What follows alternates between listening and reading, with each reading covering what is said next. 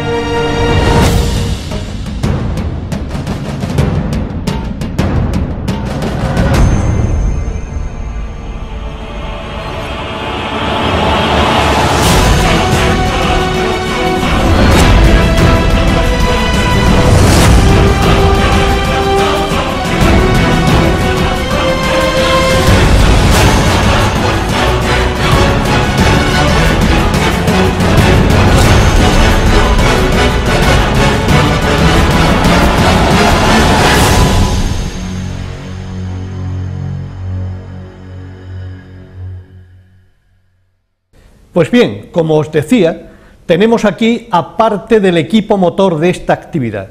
Hoy nos vuelve a acompañar don Alberto Corpas Martos. Alberto, bienvenido y muchas gracias por participar en este programa. Muchas gracias por darnos la palabra, nunca mejor dicho. Y después, para la segunda parte, os tenemos preparado un vídeo del CEIP Andalucía de Fongirola y algunos ejemplos que hemos sacado de nuestros propios centros, la mayoría del centro de Platero. Alberto, ¿qué son los juegos del habla? ¿Qué tipo de experiencias tendrían cabida en estos juegos?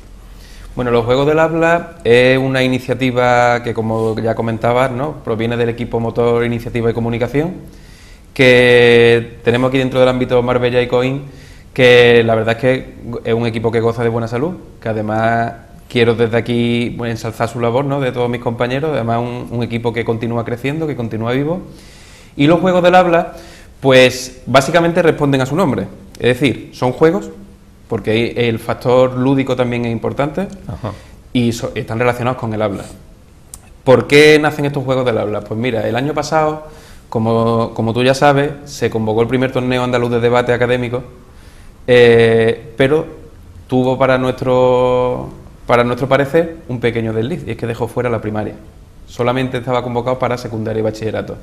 Desde el equipo motor, que ya llevábamos trabajando varios años en torneos de debate donde sí los incluíamos, ¿no? pues vimos que se nos habían quedado fuera nuestros pequeños y que necesitaban un poquito de atención. ¿Qué es lo que pasa? Pues que nosotros decidimos pues, que ese déficit era una oportunidad y nos planteamos qué podíamos hacer para, dentro de un formato un poquito más amable, más llevadero, pues poder atender esas necesidades de comunicación lingüística que tienen nuestros alumnos. Como ya sabemos, además, no todo tiene que pasar dentro del aula, sino que la educación informal también tiene su cabida. Entonces pensamos en hacer una jornada, un encuentro, que denominamos Juegos del Habla, que se celebraron el 25 de mayo en el Colegio Andalucía de Fuengirola, donde tuvieran cabida tanto el profesorado como el alumnado y también las familias.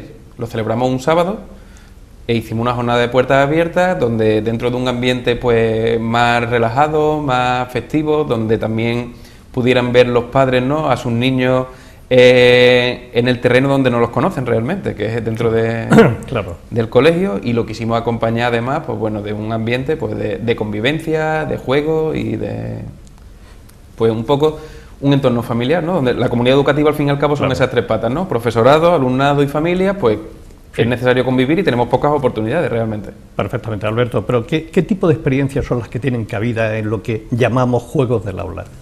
Pues mira, en los juegos del aula decidimos hacer un enfoque por, por ambientes o por rincones temáticos, que es algo que, como sabemos, en la, hay ciertas pedagogías que lo defienden, ¿no? que es un acercamiento libre por parte del alumnado según sus su intereses a diferentes aprendizajes.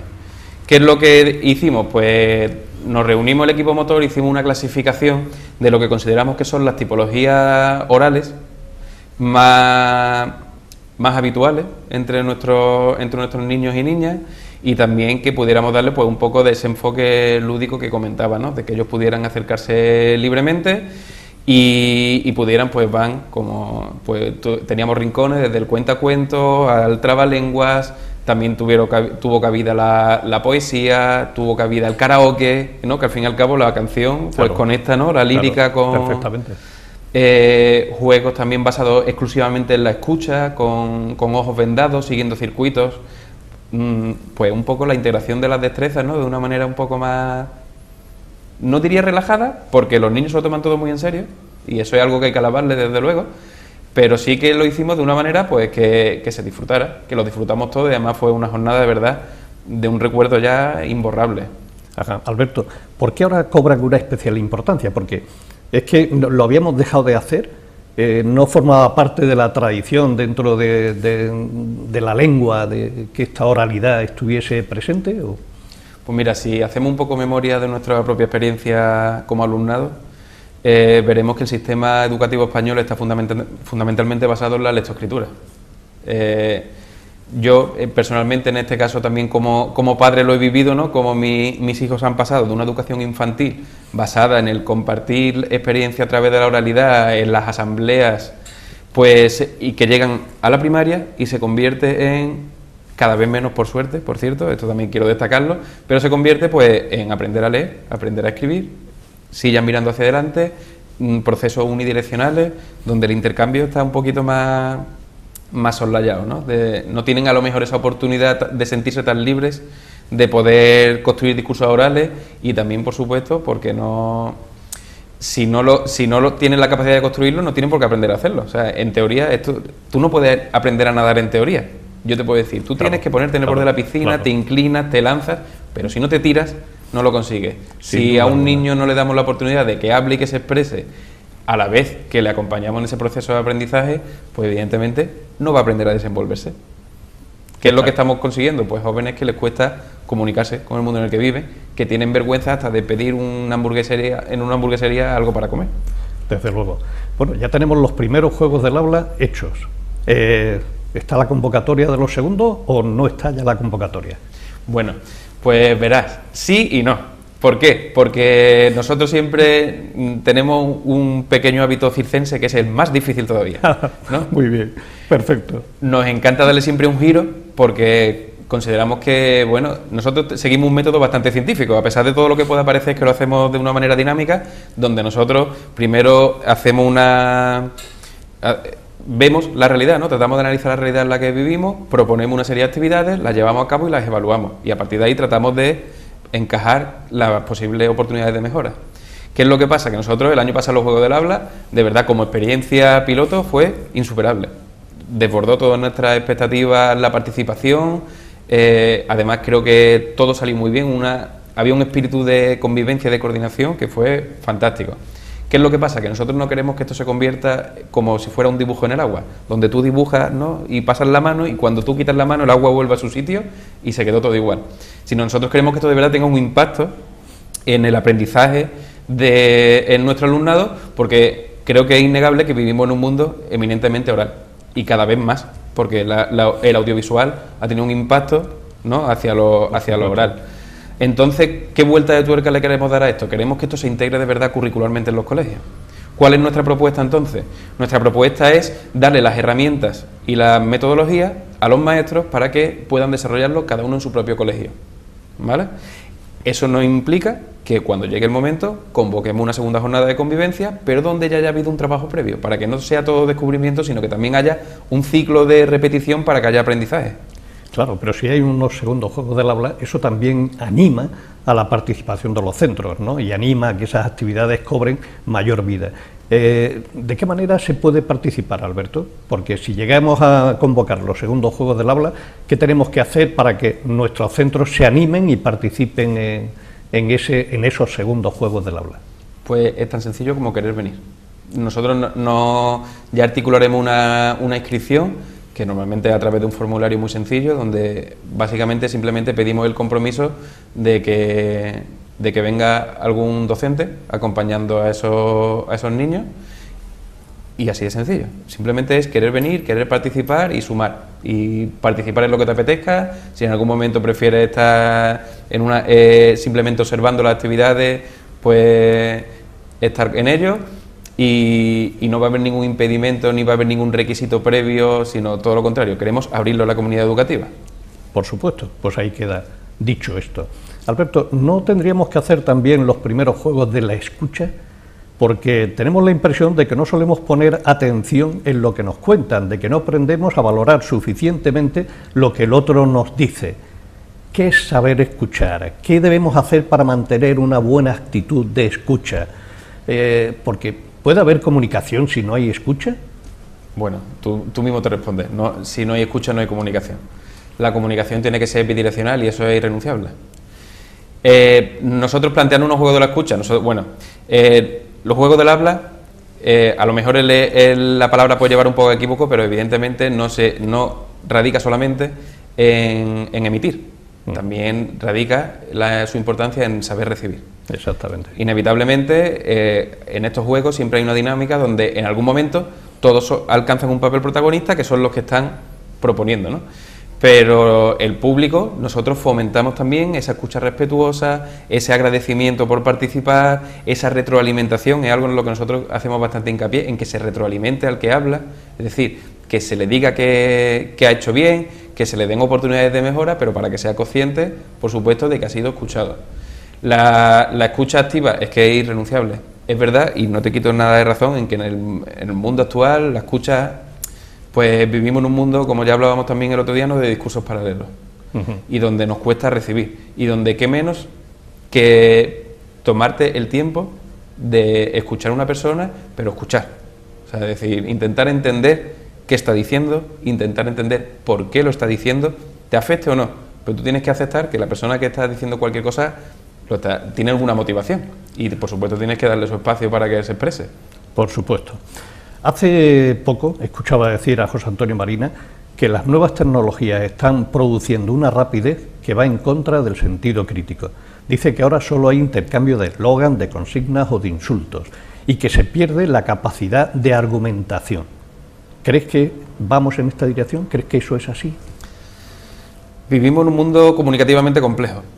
En eso le tengo que dar la razón ¿no? al señor Marina, porque es cierto que que vivimos en un mundo de impactos muy rápidos, de poca reflexión, de poco intercambio, pero desde el ámbito más cotidiano, ¿no? De, piensa eh, sin ir más lejos, ¿no? Hace 20 años, ¿cuál era la cotidianidad de una casa donde toda la familia veía junto a la misma televisión porque es la que había en casa, donde los mensajes eran únicos y más amables en general? Y, hoy en día yo creo que estamos en una curva ahora mismo donde la democratización del acceso a los medios de, de difusión pues provoca que todo el mundo tenga voz. ¿Es eso malo? No, no necesariamente, no es malo. Cada uno tiene su derecho ¿no? a su expresión. ¿Qué es lo que pasa? Que efectivamente se nos ha complicado mucho el discriminar ese tipo de mensajes. Y el saber cuándo las opiniones son propias o cuándo son impuestas, el saber simplificarlo también, las fuentes que son válidas, las que no son válidas, porque el hecho de tener la capacidad productiva de un mensaje no te convierte en un emisor cualificado, te convierte en un altavoz. por supuesto. Entonces, es verdad que vivimos en un mundo donde la tecnología ahora mismo creo que tenemos que cambiar un poco el paradigma comunicativo para saber movernos y desenvolvernos en él. Y bueno, la verdad es que invertimos mucho esfuerzo los docentes en este caso en tratar de fomentar el espíritu crítico en nuestros jóvenes. Es lo que nos puede defender de, este mundo tan, tan complejo, ¿no? Eh, Alberto, todos recordamos los cuentos que nos contaron de niños. ¿Qué beneficio tiene la lectura de cuentos para niños? ¿Le gustan los cuentos a los niños de ahora? Eh, cuentos leídos, cuentos contados, no sé, ¿se ha perdido el hábito de los padres de contarle cuentos a sus hijos? No me atrevería a decir eso, ¿no? yo creo que cada uno en su casa hace lo que puede, ¿no? Y digo lo que puede porque es verdad que, como ya decía, la sociedad ha evolucionado, no, bueno, vamos a dejarlo en que ha cambiado, vamos, vamos, ya hablaremos si eso es evolución o no es evolución, ¿no? Pero es verdad que las familias tienen ahora quizá menos espacio de compartido, donde el ritmo frenético, las jornadas laborales extenuantes, donde también los cambios en los modelos de familia y demás, pues ha podido cambiar un poco pues, la forma que teníamos de entender este momento, ¿no? De papá o mamá cuenta los cuentos a los niños antes de dormir, que personalmente eh, todo el que tenga hijos es una experiencia muy recomendable. ¿vale? Yo personalmente se la recomiendo porque es un momento de conexión muy interesante. Los cuentos a los niños les siguen encantando, la verdad, porque es un momento para soñar, es un momento para imaginar, les llena, trabaja mucho su vocabulario, su imaginario, trabaja la capacidad de escuchar, porque en ese momento ¿no? de, de escuchar, y ahora leídos o contados, pues las dos cosas. Las dos cosas. Las dos cosas, ese momento de compartir, de vivirlo, ¿no? de emocionarte, de poner voces, de hacer un poco el payaso, de reírnos todos juntos. Eso es fantástico, eh, es lo que lo mete a uno directamente en el cuento. ¿no? Además, me atrevería a decir que esos son recuerdos que los niños no, no van a olvidar nunca. Son momentos de conexión emocional profunda con quien se los cuenta, pero también considero que el cuento tiene que ser leído, las dos cosas. Porque los niños también tienen que tener ese momento de silencio, de concentración, de evocación ¿no? de, fomentar un poco la imaginación y ver esos mundos contados. Porque yo muchas veces con mis alumnos hemos hablado ¿no? de. Yo considero que no existe la persona que no le guste leer. Yo considero que hay muchas personas que no les gusta lo que leen. Y esto va en contra un poco de las lecturas impuestas. Pero en el momento que tú le das ese, ese pequeño camino a la imaginación y a tus propios intereses, yo creo que ahí enganchas a cualquiera. ¿Los cuentos clásicos, Alberto, o ya se ha perdido el valor de los cuentos clásicos? los cuentos clásicos son clásicos porque siguen vigentes. Porque siguen gustando a todo el mundo, ¿verdad? Por supuesto, y eso no quita que tengamos que darle espacio también pues, a, cuentos con nuevos referentes, ¿no? con nuevas formas de expresión, donde las tecnologías no todo, ahora nosotros no vivimos en un bosque caminando con una cesta, ¿no? Pero a lo mejor si, si para los niños es el mundo cotidiano, pues pueden incluir las nuevas tecnologías, pueden incluir pues eso, nuevos referentes de nuevos trabajos que antes no existían, nuevos deseos ¿no? que tienen también esos niños, nuevos intereses, y eso porque, porque no, ¿no? Pueden, creo que pueden convivir y que sea no que convivan. Desde luego. ¿Y la poesía, Alberto? Eh, ¿Qué beneficios puede aportar la poesía a los niños? Pues mira, la poesía, lo crean los niños no está muy presente en su vida, porque la poesía, la lírica está presente en la música, la lírica está presente en los juegos de palabras, está presente pues, en los refranes incluso, ¿no? de muchas veces que, reciben, y, la poesía además, ya entendida como el poema, ¿no? digamos, puramente duro, duro, no quiero, quizá no sea la palabra, ¿no? sino, digamos, el concepto más clásico ¿no? del poema, sí, te entiendo. Eh, pues una oportunidad tanto para contactar con tus propios sentimientos como para poder expresarte. ¿vale? Es un texto que por sus características pues, es un texto breve, es un texto, digamos, que no tiene recorrido, mm, no es como una película, sino más bien una foto fija, ¿no? De un momento, de cómo te sientes, de cómo estás. Es verdad que quizá hoy en día los jóvenes, en general, es un género que se les, a partir de cierta edad se les aleja, porque se les complica el vocabulario, porque se está lejos de sus referentes, quizá trabajamos la poesía eh, en algunos momentos, primero desde el punto de vista de la disección poética, que yo creo que cada vez tiene menos sentido, ¿no? Está bien que tú sepas contar a lo mejor las sílabas que tiene un verso, sí, porque simplemente es generador de ritmo, que al fin y al cabo es, el principal motor de la lírica, ¿no? Pero hacer como si fuera una, autopsia de un poema, a ver qué ha querido decir. Yo muchas veces lo comento con mi alumno, digo, yo estoy seguro que nosotros le decimos a Becker que hemos visto que está hablando de esto y el propio Becker nos diría, anda ya, yo, era mucho más sencillo lo que yo quería decir. Seguro, seguro, seguro. Entonces, yo creo que tenemos que también dejar eh, que sean permeables a textos más recientes. No, no todo, la poesía clásica, por supuesto, hay que conocerla, hay que respetarla y ponerla en valor.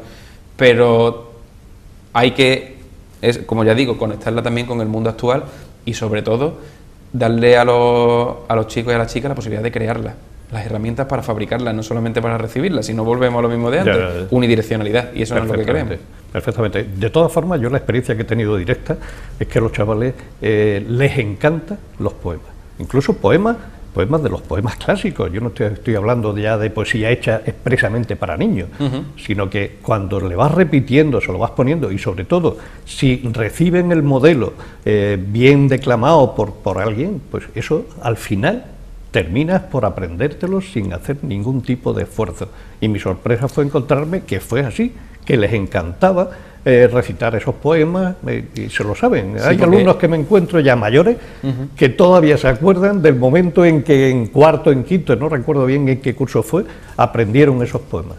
Sí, porque es que además, mira, el, el poema tiene una, una magia que te atrapa emocionalmente. Si tú consigues crear un clima en el aula de confianza, donde, porque es verdad que muchas veces caemos en la lectura mecánica del poema de naneno, naneno, naneno, naneno, naneno, naneno, ¿no? Y caemos como en una sintonía repetitiva, monótona, que nos saca. Sin embargo, cuando se, la recitación se trabaja de verdad y consigues que, que los sentimientos traspasen, que, que, se digan de verdad lo que, se, lo que está puesto en el poema desde el corazón, eh, siempre hay un momento, todos recordamos, ¿no? de, de, en una clase y de repente haya un silencio y decir, ¡buah! ¿no? De, increíble. De quedarte impactado. Increíble. Totalmente, increíble, de verdad, de verdad. Eh, en otro orden de cosas, ¿qué, ¿qué, hace falta para aprender a contar historias? ¿Es fácil aprender a escribir una buena historia? Eh, ¿Qué pasos habría que seguir? ¿Qué beneficios aporta eh, las historias, la narración a los niños? Bueno, voy a seguir tu camino inverso a la pregunta. Mira, lo, los beneficios de la, de la historia están demostradísimos. Desde el niño más pequeño, que empieza a fabricar su imaginación, hasta el más alto nivel que tú quieras llegar de la sociedad. De hecho, bueno, las corrientes del storytelling creo que en el mundo de la empresa es algo que está más que demostrado, que está fuera de duda, que genera una narrativa que te permite integrar una serie de valores que al fin y al cabo es lo que persigue la, la narración, ¿no? Dentro de un mensaje que llega de una manera más amable y más ejemplificada, pues tratar de trasladar valores. ¿Contar una buena historia es fácil? No. Creo que, creo que está claro que no. De, de hecho, eh, es otra cosa que también nos impacta cuando la recibimos, ¿no? Cuando alguien nos cuenta una buena historia y nos la cuenta bien, es que mmm, crea un, una atmósfera, crea un clima donde tiene a todo el mundo pendiente, donde estás, ¿no? Que te agarras a la silla cuando te... Eso es impresionante. Llegar claro. a ese momento es impresionante, de verdad. Entonces, ¿qué, eh, ¿qué hace falta para crear una buena historia? Pues crear muchas, crear muchas y también reflexionar sobre cómo están creadas las historias. Nosotros, como ya sabes, también en el equipo motor fomentamos la creatividad, la creatividad literaria, eh, formamos a profesores en técnicas de creación literaria a través de nuestra compañera Patricia García Rojo, que es una escritora más que contrastada de literatura infantil y juvenil, y además es docente ¿no? de, en Mijas. Y, y, a, y, aparte, por supuesto, pues también fomentamos la creatividad en, los, en, nuestros niños a través de proyectos, a través de bueno, los certámenes que también conocen, ¿no? Y tratamos de que tengan ese momento de, de expresión, porque, ojo, una cosa es la inspiración, pero como decía el sabio, ¿no? Que la inspiración que te coja trabajando. No es lo mismo la inspiración que te coja, no te va a caer un rayo de, de, inspiración en la calle, sino que si tú tienes tus herramientas y sabes más o menos cómo manejarlas, cuando estás construyendo, es probable que llegues a algún sitio. Alberto, ¿los trabalenguas qué son y para qué sirven? Bueno, pues los trabalenguas yo creo que estaremos de acuerdo que es algo súper divertido. ¿no? Que... Súper divertido, sí. Eh, ¿Pero qué efecto provocan los trabalenguas en los niños? Pues mira, nosotros fundamentalmente los trabajamos con dos objetivos muy sencillos. El primero es un ejercicio memorístico, porque nosotros de los juegos del habla nos gusta que, lo, que se lo aprendan. Que se lo aprendan, entonces puedes generar, por ejemplo, una dinámica muy divertida, muy sencilla, donde tú le enseñas el trabalengua a, a una persona durante un momento, lo trata de memorizarlo y después se da la vuelta y trata de repetirse los demás. Claro, pues imagínate los que lo están leyendo, las risas de dónde pueden llegar y lo bien que se pueden pasar. Además, puedes eh, utilizar el castellano, el inglés, el francés, como ya curricularmente están integrados, incluso, bueno, y, y, además creo que tiene un efecto obvio sobre la vocalización, ¿no? Desde el punto de vista de la claro. logopedia, ¿no? Claro, y de la, claro, claro, Pues es una forma de trabajar la dicción, la vocalización, la, la correcta ¿no? articulación de los sonidos en los, en los niños, y si lo, pues entonces, claro, trabajar esto de una manera abstracta en un niño, pues imagínate, ¿no? Pero trabajarlo de una manera que encima el niño esté disfrutando sin darse cuenta de que está eh, teniendo estrategias ¿no? para esa articulación de los sonidos, pues perfecto. Perfecto, ¿no? Ya para terminar, porque nos estamos quedando sin tiempo, eh, ¿deberíamos fomentar que en los centros hubiesen eh, radio y televisión, si puede ser, para que facilitara toda esta oralidad de la que estamos hablando? Rotundamente sí. Los medios existen, los eh, además, lo, nuestros alumnados son grandísimos consumidores, fundamentalmente de televisión. Y además bajo un nuevo modelo de televisión que está muy al alcance de los centros educativos, que es la televisión bajo demanda. Creo que hoy en día los dispositivos de los que disponemos nos dan la posibilidad de grabar, de montar, de incluso de emitir en directo de una manera pues que está al alcance prácticamente de cualquiera. Siempre, por supuesto, y, y, y quiero recordar, teniendo cuidado con los derechos de imagen de esos, de esos menores, ¿vale? Que, cuyos padres tienen que estar informados y consentir esa difusión, pero siempre lo hacemos desde un punto de vista pedagógico y didáctico, que nunca lo exhibimos, todo lo contrario, somos súper celosos de su intimidad y tratamos de hacerlo todo lo más correctamente posible. Y con la radio igual, la radio bajo demanda, el podcast, pues es una tecnología súper asequible, solamente necesitas un teléfono móvil con una grabadora que tienen absolutamente todos. Y después ya pues hay multitud de plataformas gratuitas que te permiten difundirlo y trabajarlo. ¿Qué nos permite las dos tecnologías? La revisión. Nos permite que los chicos y las chicas vuelvan a escuchar, que vuelvan a verse, que, puedan analizar que han hecho bien, que pueden mejorar, que se enfrenten también a los problemas técnicos que tiene la propia televisión o la propia radio, ¿no? que a veces te saca de tu guion y te saca de tu sitio y tienes que tener capacidad de reacción, de reconducir tu discurso, tienes que escuchar a los demás. Sin una entrevista nosotros no podríamos interactuar si no. Porque entonces, si tú me haces unas preguntas, yo respondo lo que quiero, pero no interactuamos y no dejamos que la entrevista viva, pues entonces llega un momento en que, que esto no tiene sentido. Esto volvemos a los discursos paralelos. ¿Qué es lo que pasa? Que en qué otra situación podemos tener esa capacidad de que los, de que los niños escuchen, eh, reconstruyan el discurso y encima lo puedan revisar. Pues que los medios los tenemos a nuestro alcance y vamos. Por supuesto, Alberto, ha sido de verdad muy agradable conversar contigo hoy. Muchísimas gracias por participar en, en este programa.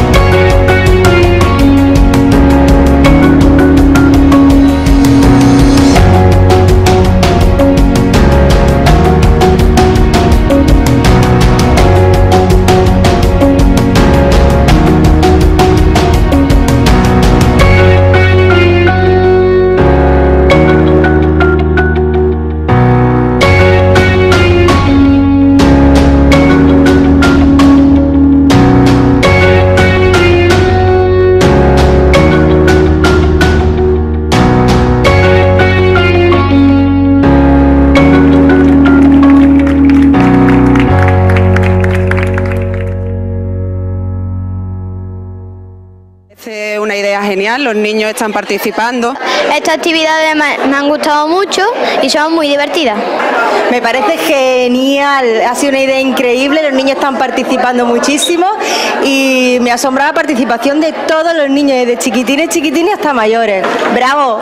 Este, esta jornada que hemos hecho hoy en el Colegio Andalucía me ha encantado y espero que se repita. Las jornadas fantásticas y la organización estupenda, los niños disfrutando, los padres también, nos encanta encanta el cole, nos encantan estas iniciativas tan estupendas. A mí esta jornada me pareció fantástica. Actividad como la que se está realizando hoy en el centro Andalucía es eh, muy valiosa, muy importante, porque consigue que todos los alumnos y alumnas eh, se inicien o, se fomenten en, eh, la expresión en saber hablar en público, en saber desarrollar contenidos culturales, literarios.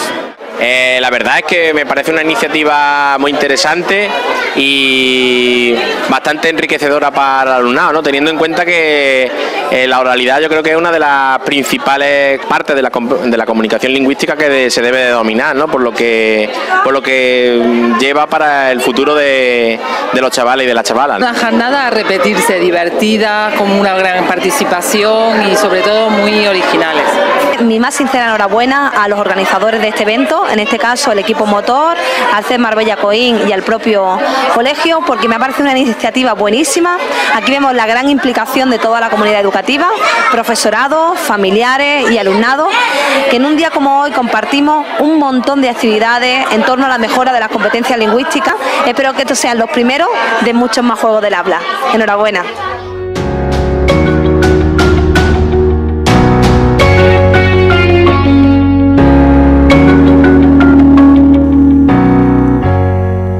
Nosotros en Marbella hacemos una magnífica aportación a la fiesta de la oralidad a través del certamen literario que cada año convoca el Colegio Platero.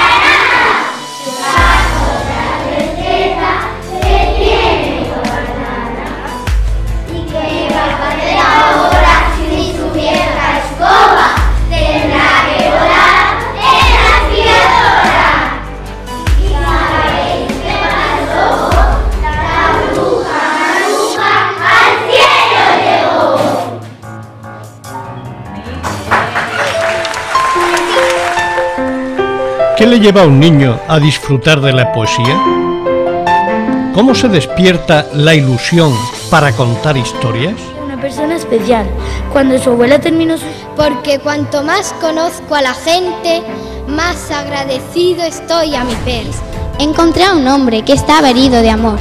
Encontré a otro que estaba herido de odio. Y es dura, es dura, es muy dura la lluvia que va a caer. En la lona gime el viento y alzan blando movimiento, olas de plata y azul. Que cuando uno dice voy con la dulzura, de inmediato buscan a la criatura. Tanto la poesía como la narrativa, como la buena música, hay que acostumbrarse a oírla. Porque todos los temas comenzaban con alguna historia, y aunque ya sabemos cuáles eran sus preferidas, disfrutaba muchísimo leyendo preciosas historias de nanitos, gnomos, brujas, dragones, bueno... Aunque no lo entendamos del todo, la belleza, el ritmo, el sentimiento irá penetrando poco a poco en sus jóvenes corazones. Te dejé ir, te dejé marchar, no pude detenerte, tal vez por cobardía o por no saber cuánto te quería. Esto era un pajarito rubio como tú. Su jaula tenía un lacito azul, dos puertas, tres palos, agua y alimento, un terrón de azúcar. Para mí sobre todo el trabajo en equipo, considerarse dentro de un grupo y hacer una actividad donde todos aportan e intentan dar lo mejor de sí. Y a partir de ahí, eh, beneficios de trabajar las distintas áreas interdisciplinarmente, porque claro, se trabaja lengua, en matemáticas con la métrica, educación artística, porque claro, tienen que hacerse vestuario, el decorado y todo. Entonces, que todas las áreas se relacionen para una misma actividad también es muy positiva.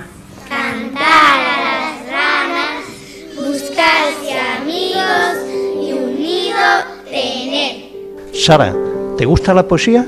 Sí, ¿Qué es lo que más, más, más, más te gusta? que hacerlo con los amigos y disfrutar de la poesía. Ajá. ¿Y tú también cuando llegas a casa practicas con tu madre? Sí, ¿Y a tu madre le gusta la poesía? sí, ¿Y te prepara muy bien todo lo que necesitas de vestuario? ¿Todo eso lo prepara tu madre? no, alguna cosa yo. Vi pistolas y espadas en manos de niños. Y es dura, es dura, es muy dura la lluvia que va a caer. Oh, ¿y qué oíste, mi hijo de ojos azules? ¿Y qué oíste, mi joven querido? Oí el sonido de un trueno que rugió sin aviso. Oí el bramar de una ola que pudiera negar el mundo entero. Oí cien tamborileros cuyas manos ardían. Oí diez mil susurros y nadie escuchando. Oí a una persona morir de hambre. Oí a mucha gente reír.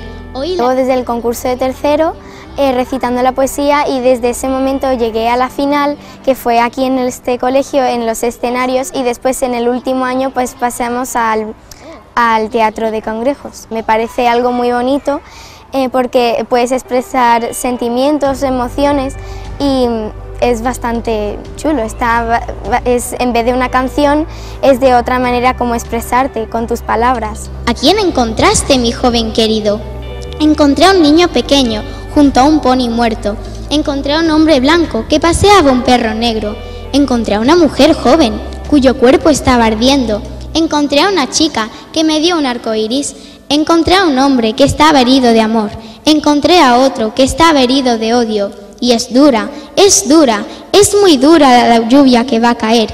Bueno, en principio cuando subí al escenario no veía mucha gente, lo que más veía era las sombras menos los jueces. Entonces empecé a ponerme un poco de nerviosa, pero cuando ya empecé a recitar me tranquilicé un poco. Y estaba bastante emocionada de poder subir ahí porque eh, no muchas personas pueden llegar a ese punto de vista y a mí me pareció un momento bastante, eh, pues me gustó mucho. Nosotros en clase hacemos eh, un poco de teoría, damos un poco de teoría de oratoria, de recitado, y ellos poco a poco pues van profundizando en el tema y van consiguiendo pues niveles de oradores que de adultos. Se elige la temática y una vez de la temática se pasa a los ciclos. El primer ciclo, toda la clase realiza el mismo poema, ¿vale? Entonces, de los que se elija la seño, se debate en la clase y democráticamente se elige uno, acorde, claro, con la edad, ¿no? En el segundo y tercer ciclo solo son individuales, son poemas individuales, entonces hay una fase de selección. Toda la clase se aprende eh, varios poemas y se ponen durante un tiempo. Y el profesor va cogiendo nota de quién lo hace mejor, ¿no? quién entona mejor, quién se expresa mejor. Llevamos mm, bastantes años con, con este proyecto y lo tenemos muy bien, muy bien estructurado. Eh, una vez que se decide eh, porque, dónde, en qué quieren participar, o si en el recital de poesía o en la narrativa, pues ya empezamos un proceso primero de selección, de selección de, de qué poesía es más adecuada a mí, a mis gustos, a mis intereses y en ese sentido, pues los alumnos y alumnas, en este caso Andrea, pues elige, elige un, un- autor que a mí me llamó mucho la atención, en este caso fue Bob Dylan, que no está catalogado como poeta, pero como eh, me pareció una idea tan, tan nueva y tan, bueno, en cierto modo creativa, pues la aceptamos. Y después han visto los frutos que ha dado. Y se hace eh, una selección en, la- en el comedor con un, como un tribunal que forma parte el director, un padre o madre, el conserje o el administrativo del cole y son ellos los que eligen ya los seleccionados para la final del concurso. Para conseguir que Andrea fuera la, seleccionada en el principio de mi clase, después del resultado que, ha ganado el concurso, pues se hace un proceso de selección en clase donde todos los alumnos escuchan a todos sus compañeros y se hace mediante un proceso democrático unas votaciones donde se van, se van seleccionando eh, 8, 10, depende de, la calidad de, los trabajos, para así después yo quedarme con 2, 3 y ahí sí le meto yo ya un poco mi criterio más profesional para seleccionar cuál va a ser la, persona que representa en este caso a, a la clase de quinto B, que fue el año pasado. El poema lo elegí con mi madre, que es una poesía de Bob Dylan que me pareció también muy bonita y por el autor que también me parecía bastante conocido. Y pues la poesía habla de, de qué es lo que va a pasar en el futuro si no cuidamos nuestro medio ambiente. ¿Y ahora qué harás, mi hijo preferido? Voy a regresar afuera antes de que la lluvia comience a caer. Caminaré hacia el abismo del más profundo bosque negro, donde la gente es mucha y sus manos están vacías, donde el veneno contamina sus aguas, donde el hogar en el valle encuentra el desaliento de la sucia prisión y la cara del verdugo siempre está bien escondida, donde el hambre amenaza, donde las almas están olvidadas, donde el negro es el color y ninguno el número, y lo contaré, lo diré, lo pensaré y lo respiraré y lo reflejaré desde lo alto de la montaña para que todas las almas puedan verlo. Después, me mantendré sobre el océano antes de que comience a hundirme, pero sabré bien mi canción antes de empezar a cantarla. Y es dura, es dura, es muy dura la lluvia que va a caer.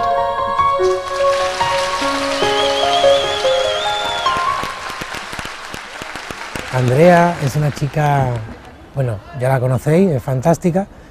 Es una chica que eh, a nivel a nivel escolar, primero se implica en todos los proyectos que hacemos, eh, siempre da el máximo de sí misma, tiene sus, sus problemillas, como todos, ¿no? de, inseguridades y de todo, pero ella poco a poco va creciendo como persona y el fruto se está viendo ahora en el, en el último curso de primaria, en sexto de primaria, donde ya se está conformando ya como una adolescente eh, que tiene una riqueza tanto personal como académica que para mí merece, merece una mención, una mención de, honor aquí al final de, esta, etapa de primaria. Y siempre que no la vean como, como el objetivo final competir y ganar, sino como una actividad que les forme, que les enriquezca y que entre todos hagan la actividad. Ah, mira, ¿la poesía te gusta? Me encanta. Carlos, ¿qué, ¿qué te pasa cuando haces la poesía? Pues que me siento muy emocionado y al hacerlo con todos mis amigos está muy chuli. Ajá, ¿tú también practicas en casa? Sí. ¿La profe es muy exigente, muy exigente cuando estáis haciendo lo de la poesía o, o lo pasáis bien? Lo pasamos bien. El día 2 de agosto, hasta que salgan las hadas, o sea, las estrellas, Lucía. Pero en esos años ni una sola hada madrina vino ni siquiera a visitarla. Al final sus amigos tenían razón y solo eran bobadas de niños pequeños. ¿Cómo los demás lo habían visto con tanta claridad y ella se resistía? A una hora, a olvidar esos cuentos infantiles. Carmen es eh, el modelo de chica responsable que todo maestro, y ya no digo maestro, digo que todo padre o madre querría tener. Eh, ella es eh, una persona, igual que Andrea, muy implicada en todos los proyectos, a la vez es muy madre en todos los proyectos y en todos los trabajos. Ella, yo confío siempre plenamente en ella como, vamos, como asesora, como muchas veces como ayudante eh, con los demás compañeros. Siempre me gusta mucho de ella que, que cada trabajo que hace, en cada trabajo demuestra que ha sacado lo máximo que hay en ella. Ella no hace nada para cumplir, ya sea una actividad mm, básica de matemática o como un, trabajo de escritura creativa. Eh, para, este, para el cuento, por ejemplo, eh, nosotros también seguimos un, un proyecto que viene de biblioteca, de escritura creativa, y nos apoyamos mucho en él con actividades, con, con un montón de, de talleres y de técnicas que después van dando su fruto Mm, dejando escritos como el que nos ha ofrecido Carmen. La niña que quería ser hada madrina. Lucía, una preciosa niña morena de ojos color café, Siempre había tenido una cosa clara en su vida. De mayor iba a ser hada madrina. A sus nueve años, toda su familia y la gran mayoría de sus amistades no paraban de repetirle que ella era lo suficiente mayor para seguir creyendo en esas cosas. La verdad que me encanta escribir, ya que expreso mis sentimientos y, mis y la imaginación que yo tengo en mi cabeza. Y eh, me encanta también leer y por eso yo creo que tiene relación todo esto. Y también llevo varios años con este concurso desde que estoy aquí.